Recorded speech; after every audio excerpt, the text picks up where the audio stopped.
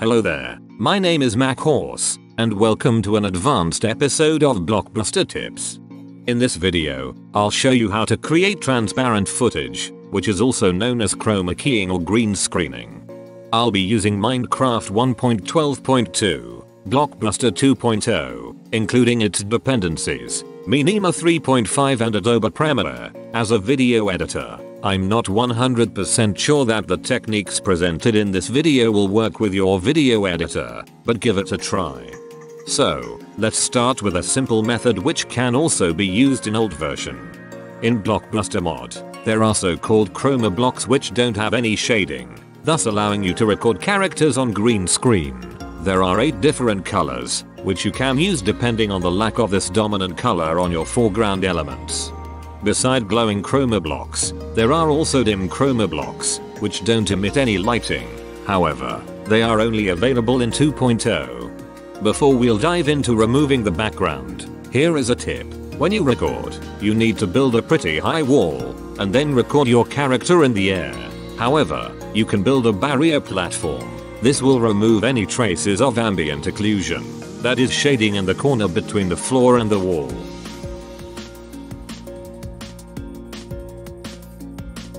Also make sure to disable bloom effects, if your shader adds an option to disable it, this will make it much easier for keying plugin to remove the color, and will yield a better result.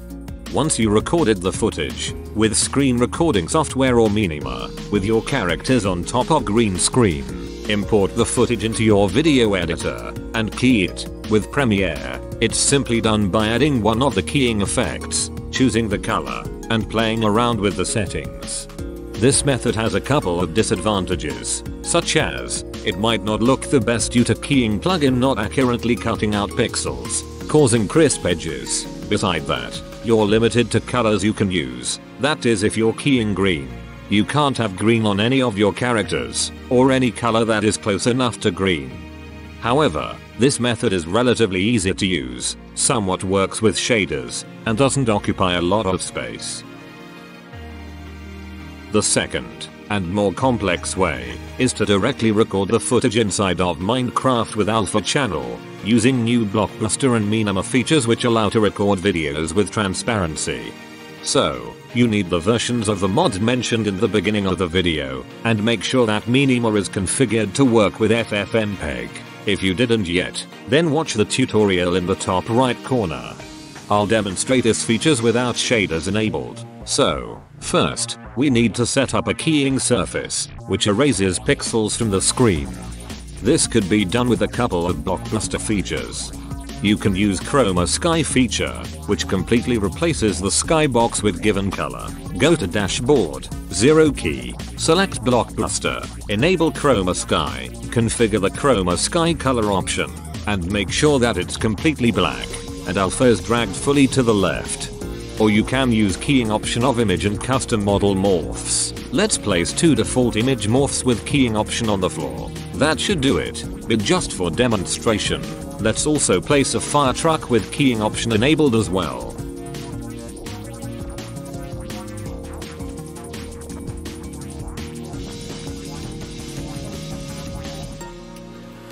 Once we have everything set up, let's place something in front of these keyed objects like a dancing emoticons morph, to truly demonstrate the keying with Minema.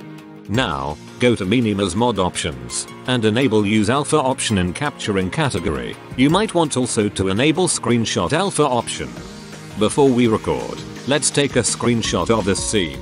If we'll open the screenshot, there will be transparency. Now if we'll record the scene with Minema, by default, it would output a QuickTime video file, which will be quite heavy, because it's lossless. You can't preview it with bundled video player. However if you have VLC, you can use that, but it will lag a lot due to large amount of data. If we'll drag this video into the video editor, it will appear with transparency, just like on the screenshot. Alternatively, you can reconfigure the alpha encoder argument to export the video as a sequence of PNGs, if by any chance your video editing software doesn't support QuickTime with alpha.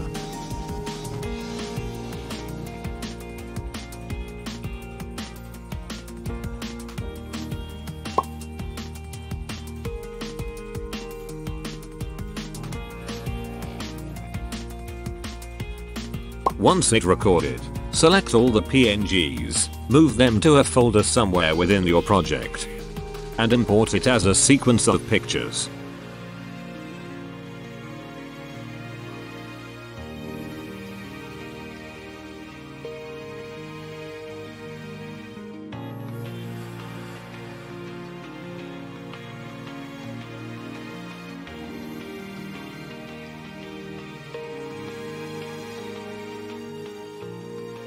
Then it should work exactly like the QuickTime video. The advantages of using in-game alpha and recording it with Minema are you don't have color limitations, it yields much better result with smooth edges, and it doesn't requires a fancy video editor that has keying support. However, there are also disadvantages to this method. The file size of recorded footage is enormous. In comparison to the first method, most of shader packs, if not all, don't work with it, without editing the shader pack to support passing of alpha channel. That's pretty much it. Those techniques might be used for compositing in Minecraft machinimas and roleplays. You can also create overlays, kind of like one of those subscribe and smash the like button things. And finally, memesters can use this technique to record footage with transparency for their Minecraft memes, especially ones with HUD. Anyways, thank you for watching, and goodbye.